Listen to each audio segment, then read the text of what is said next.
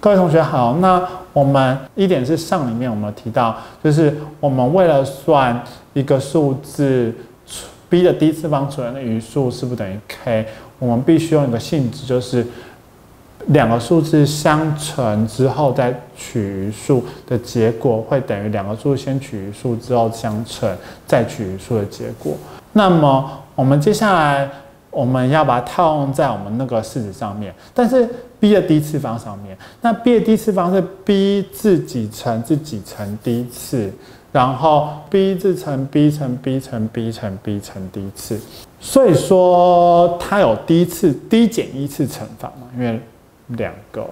乘在一起就是 d 减一次乘法，所以说我们可以在这 b 减一次乘法中间，每一次乘一个新的 b 之后。就是，所以我们如果假设我们算出 b 的 g 次方，某一个 g，g 是 g 次方的话，取呃我们要算 b 的 g 次方除以 n 的余数是多少的话，那我们就可以算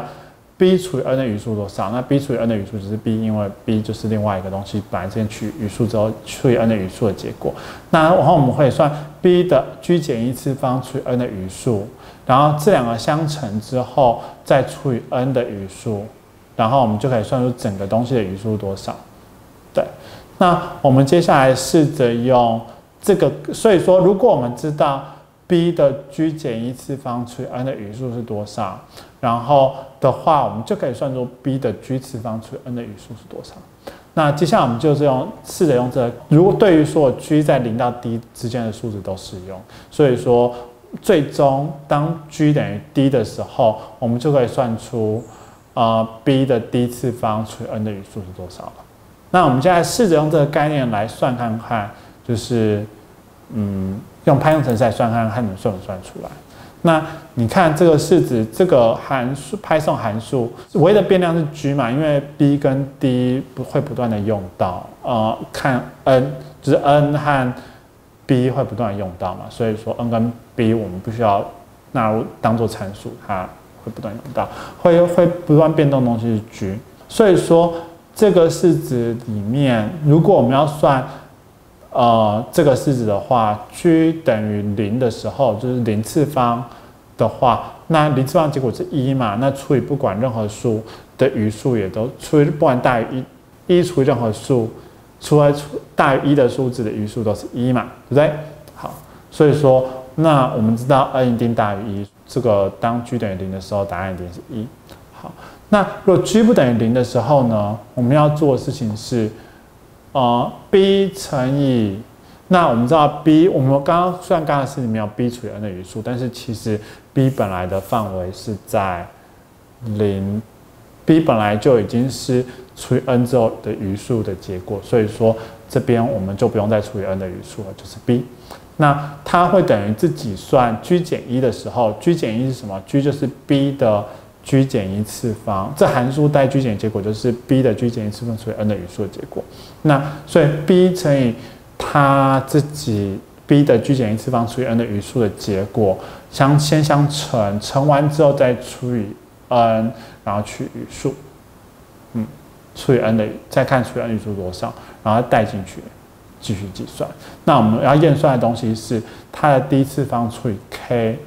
它的第一次方是不是等呃它的 d g 等于 d 的时候，就是 b 的第一次方除以 n 的余数的结果是不是 k？那如果大家实际执行之后，你就可以看到，就是几秒钟之内，你就可以得到结果，它会自己呼叫自己呼叫两千九百七十一次之后，然后就死了。为什么？因为他自己呼叫自己次数太多，然后对于派送城市而言，他自己呼叫自己的次数大概上限就是两千多次左右。这边两千两千九百七十一次，所以说这样子虽然这样子比较快，但是你知道我们第一是多少？我们第一是一二零，我们第一是一零二四 bit 长的数字，所以说。所以，但是这边只会有大概两千多次，不超过二零四，不超过四零九六嘛？四零九六是二的十一次方，不超过二的十一次方，不超过十一 bit 的数字。但是我们的 D 可以是二零四八 bit 的数字，这个悬有点悬殊。虽然说这样的计算好像我们把每一步计算过程的数字都变小了，但是这样的计算还是没办法告诉我们计算的结果。那为了要得到计算结果，我们要试着用别的方法。那注意，我们做的事情是，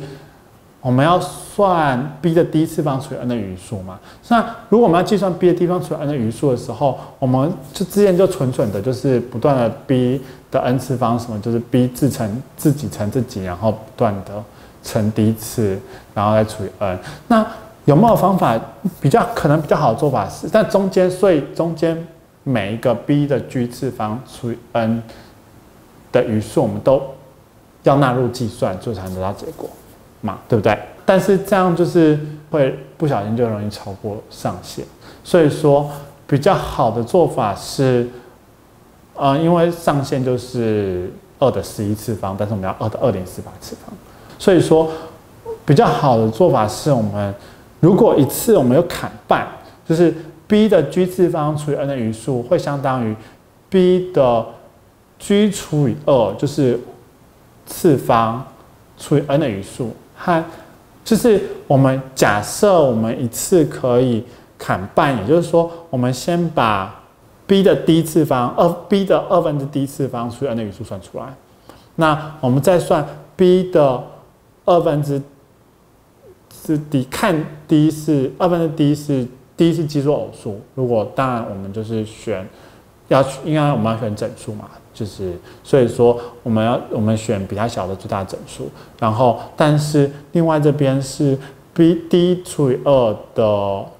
整数，然后我们就是我们要乘它乘起来等于 d 嘛，所以就是 b 的第一次方减掉我们刚刚那个数字，也就是说我们减的切半切让两半几乎一样。那这样什么好处呢？好处就是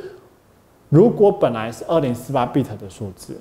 我们接下来我们只要。比较算出两个 b 的一零二四 bit 的数字和另一个 b 的一零二四 bit 数除以 n 的余数是多少就好。也就是说，中间所有 b 的超过一零二四 bit，就是我们刚才计算过程之中，我们必会会计需要计算 b 超过一零二四 bit 的指数除以 n 的余数多少。中间计算过程会用到这些这些数字。但是我们现在如果这样子对半切的时候，我们就中间 b 的超过一零二四 bit 的数字。就都不需要嘛，就是我们直接，因为指数用那个 G，我们直接用小于一零二四 bit 的 G 来算计算就好了。所以说，我们中间这些比较大的 G 的，就是 G 等于大于二分之 d 的 G，我们都不用算了。那这样子呢，会不会加速我们计算呢？可能会。如果我们把这个概念写成程式的话，它会写成像这个样子的程式，就是如果我们要算 g 某个 g 的话，g 等于零的时候是一嘛，当然是一。那这时候我们要 g 等于一的情况，因为 g 等于一的情况之下，我们要把它切割，但是 g 等于一的情况之下，呃，这边会是零，这边会是还是 b 的一次方除以 n 的余数，所以我们必须我们必须要算 b 的一次方。除以 n 的余数多少，那就是 b。那这边的话会用到就是 b g 除以二的余数是多少？那 g 除以二的余数是啊 g 除以二的商，所以 g 除以二的商，所以我们要算这个东西，这个东西的结果相当于 g 除以二的余数的的商乘上 g 除以啊。g 减掉 g 除以二的余数的商，然后除以 n 的余数还除以 n 的余数和 g 除 b 的 g 除以二的商，然后除以 n 的余数，然后这两数相乘之后再除以 n 的余数，所以我们就把这个东西，然后我们要算 g 等于 d 的时候的数字是多少，然后然后我们算这个东西 b 的第一次方除以 n 的余数是不是 k？好然后我们实际的跑执行 Python 程式的话，我们可以发现，就是它会变成一样跑不出来，跑了就是九十几分钟，一超过一个小时还是没有跑出来。那如果我实际试过，可能就是睡个觉醒来，说不定都跑跑不出来。嗯，另外就是这个东西，还是还是太大了？为什么？因为我们刚刚说到，就是我们现在不需要，我们现在我们只要算 b 的一零二四 bit 以下的指数除以 n 的语数多少，但是这个数字还是有点多，就是 b 的一零二四 bit 以下的数字的余数，这个数字还挺多的。但是我们最高 recursion 上限是大约四千，不超过二的十一次方。但是我们要我们要计算二的一零二四 bit，就是二的一零二四次方下。b 的二的一零二次方的那个数字除以 n 的余数，中间就是超过的不用算，但是小于那个可能都要可能要算，确定。只是说，这个有帮我们省时间，但是并没有省太多。也就是，然后它又没有算完。那如果我们要算让这个计算完成，我们要怎么做计算呢？如果我们要让这个计算完成的话，比较好的计算方式是这个样子的，就是我们可以把刚刚这两个的。计算的概念合在一起，因为我们刚刚做的事情是我们把它拆两半。那如果居是偶数的时候，其实还有个东西我们可以做化简化，就是居是偶数的时候，呃居除以二的商和居减掉居除以二的商是一样的东西嘛？也就是说，我们可以算居除以二。的商 b 乘以 b 的居除以二的商的次方除 n 的余数，整个余数的平方，平方最后再除以 n 的余数。也就是说，我们不用算这个东西一遍，再算这个东西一遍，然后最后把它们相乘，然后再除以 n 的余数，而是我们算这个东西一遍，然后让它自己做平方，我们就不用再重新算一次了，平方就好，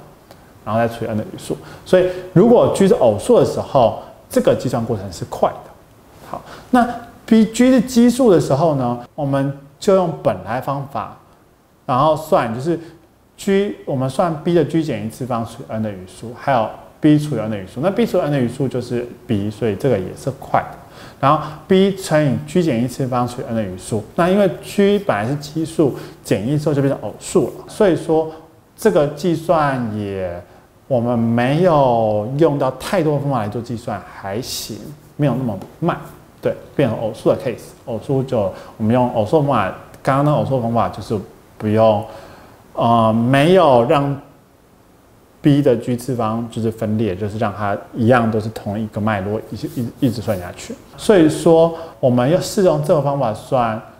呃的话，可能会快一点点。好，但是我们接下来下一个投影片是说，如果我们试着实际把这个计算方法写成程式去算的话，我们会发现就是，就是我们实际计算的时候，它还是算不出来，然后它会它没有列出多少，但是它四秒的时候都算不出来。那我们可以看一下这个 recursion 的次数，大概约会不超过四千次，差不多等于就是我们。Python 可以接受次数，但是至少对这个版本 Python，它接受 recursion 次数只有两千九，是两千多一点点，所以说它可能没办法对 recursion 的话，它很没办法算出这个 recursion 结果有多少。所以说，为了处理这个问题，有两种解决办法。第一种解决办法是我们。Python 没有特别，这个 Python 本来写法没有针对 recursion 做优化，所以我们可以换另一个版本 Python 有针对 recursion 做优化的 Python，然后来试着让它能够用那种 Python，说不定就算的比较快，能够把它算出来。第二种可能性事情是，就是我们在不要 recursion 来写这个程式，而把这个改成回圈来写。那改回圈之后，它 Python 算回圈次数就比较次数没有上限，没有上限，基本上没有上限。所以说，就之后整个 overflow 问题，它没有 recursion 上限。所以说，如果回圈来写的话，就是就是会比较，其实也比较不会碰到 recursion 次数超过的问题。那下个单元我们就我们就试用第一种方法来进行，然后来讨论说。如果我们装另一个版本 Python 看看，另一个版本对 recursion 可以算比较多层的 Python，然后这样是不是这个样子程式一样可以把它算出来？